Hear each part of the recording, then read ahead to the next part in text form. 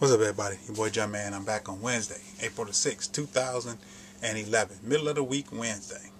I'm back with shoes 372 and 373 out of 697 in the basement of the J's.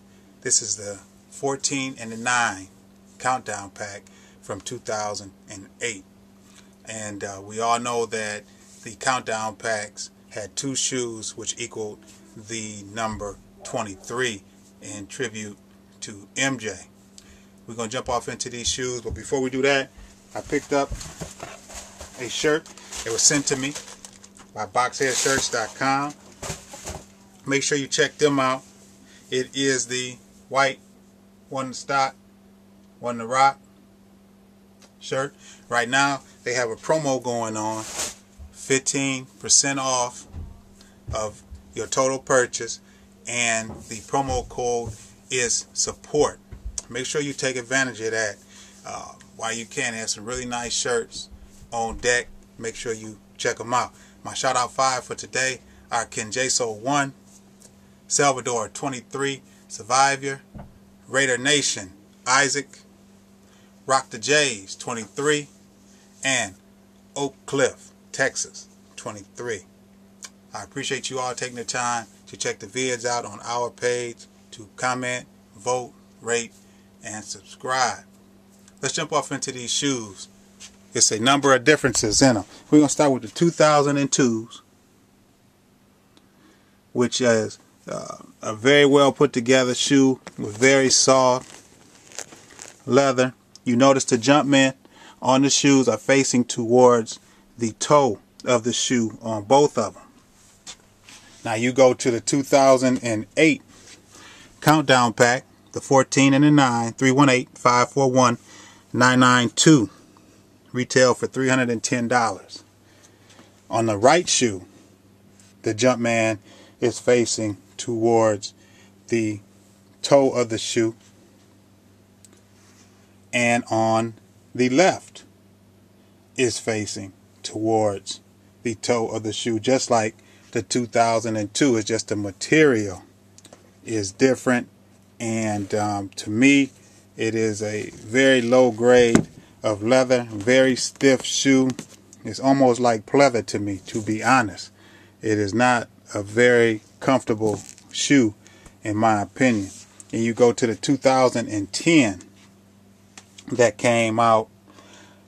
This is more of a shiny leather, and it's just as stiff as the 2008 in my opinion. And that you notice on here, the Jumpman on the right shoe is facing towards the uh, toe of the shoe. But look at how much smaller the Jumpman is on the 2010 compared to the 2008. A lot smaller. But on the left shoe, the jump man is facing towards the heel on the 2010 compared to the 2008. And on the 2002, you can even look at these two and see how much shinier the 2010 is to the 2002. So that was the difference in the 2010 and in 2008 there are some slight differences. The the leather is shinier on the 2010 compared to the 2008 they both had the speckles on them like that okay?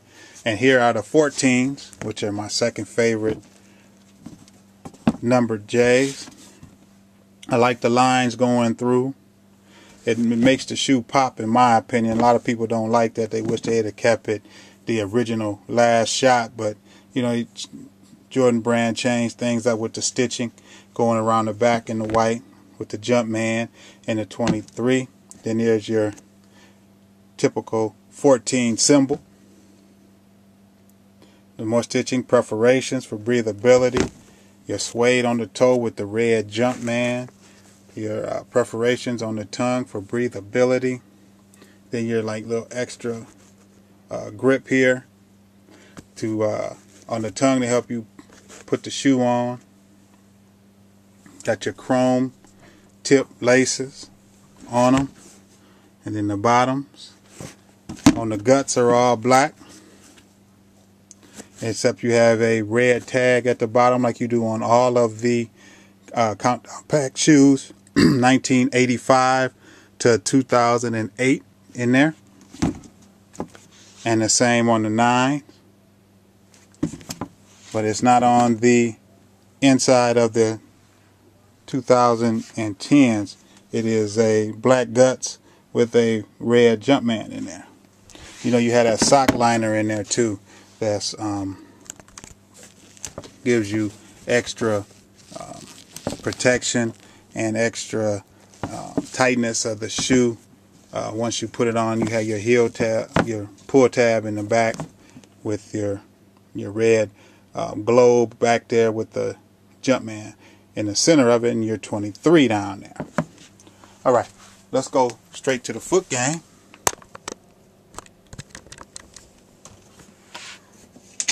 To show you these two.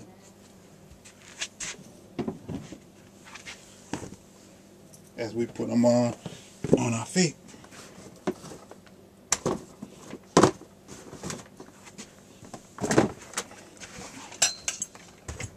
As we know, the original pair came out in 1993. MJ didn't play in these shoes. He wore the uh, nine cleats playing baseball. He also wore the nines in the movie Space Jam. I don't know if you remember seeing him with the nines on, but he wore nines in the movie Space Jam.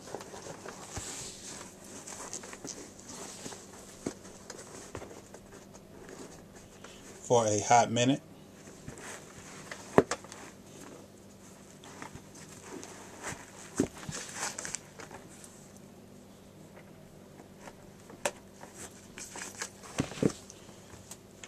All right, 2008 Countdown Pack 9. Really stiff and tight shoes. I could almost do a 14 in these. It seems like in some of the countdown pack shoes, they fit kind of tight to me. I don't know if anybody else has experienced that. But it's not all of the shoes. But some of them fit a little smaller than the others. Like the 14, the Jordan 14s are fine.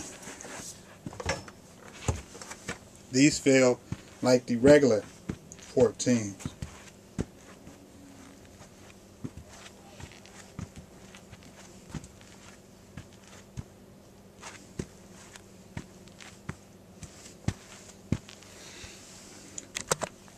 All right. Shout out to Kenneth. Rest in peace. Up in Kenneth's corner. All right. There's the countdown pack 372 and 373 out of 697. J's in the basement of the J. I hope uh, people got something out of the comparison from the 2002 to the 2008 to the 2010 Air Jordan 9s. There are some differences, especially with the quality of the shoe, but still worth purchasing in my opinion. You know, but that's me. The word of the day it comes from uh, SoleDeVida. I was uh, on her page and I noticed uh, a saying on there, and uh, I think that it was uh, really touching to me, and I wanted to share it with you. But it came from her page, so um, much respect to her. It says, There are times to stay put, and what you want will come to you.